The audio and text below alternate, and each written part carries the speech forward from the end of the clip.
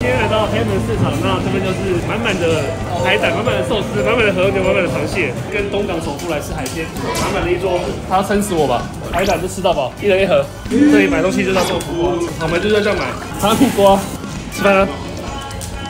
日本海胆要这样吃。瓦萨比，别太多了，太多了，黑尾有点上腹。肉。爽吗？吃完海鲜，满汉全席，继续逛市场，琳琅满目的上等食材，看了真的很过瘾呢。